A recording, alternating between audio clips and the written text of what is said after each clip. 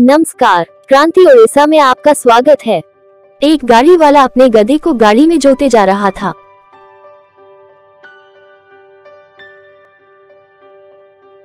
अचानक गधा रस्सी तोड़कर गाड़ी से भाग निकला।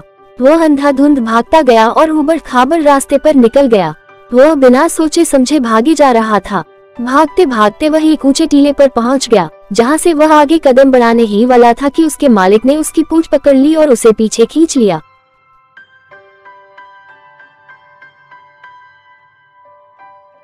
गधे ने छुड़ाने का बहुत प्रयास किया, लेकिन मालिक भी पूरी ताकत से उसे पीछे खींच रहा था। मालिक गधे को गिरने से बचाना चाहता था, लेकिन गधे को यह बात समझ में नहीं आ रही थी। आखिरकार, मालिक ने उसे छोड़ दिया। ले, अगर तू जाना ही चाहता है तो फिर तेरी इच्छा। हट करने वाले को बाध्य नहीं करना चाहिए। मालिक से छूटते ही गधा आगे बढ़ा और टीले से नीचे गिरकर मर गया।